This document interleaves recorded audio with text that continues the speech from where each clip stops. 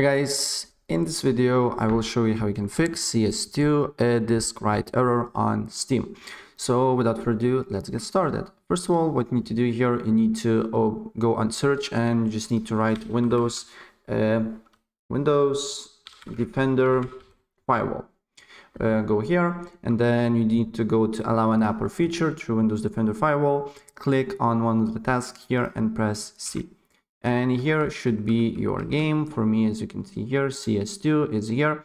And if there is for you as well you need to make sure uh, you just need to press change settings and make sure that this uh, private thing and public uh, option is toggled on.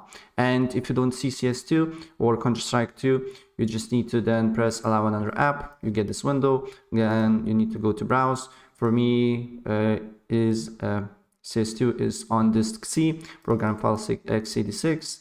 Probably for you it will be as well, it's default thing. And then you need to look for, as you can see, uh, Steam.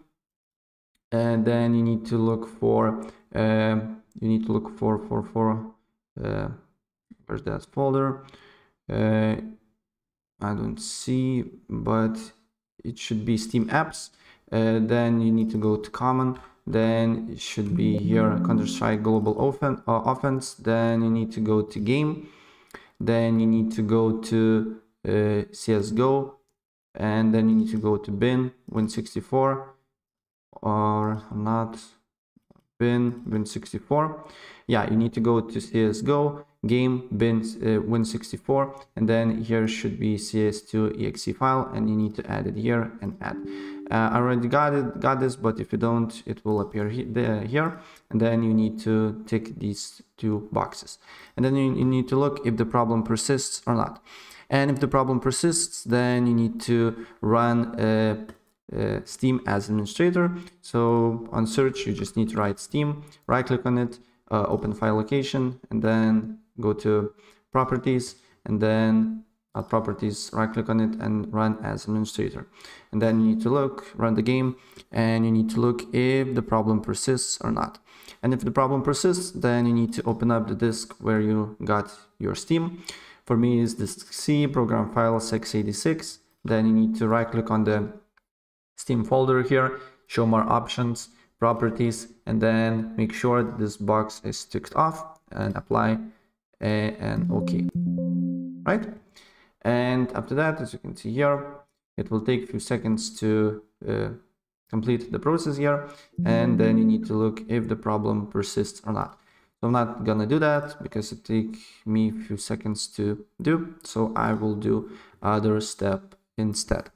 So if read only if you do click down read only and the game is not working uh, what you need to do here is to go to steam then press on steam here go to settings then you need to go to um, you need to go to downloads and then you need to clear download cache. And the game will uh, and the steam will restart. So what you need to do here is to relog into your account and then you need to try the game.